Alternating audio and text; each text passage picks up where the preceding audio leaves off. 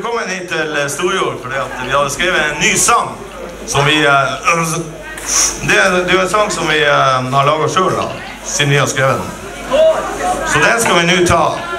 Og eh, Så jeg sier eh, takk for i dag, jeg er veldig glad dere var her. Ses eh, forhåpentligvis igjen. OK. eh, teller vi. É.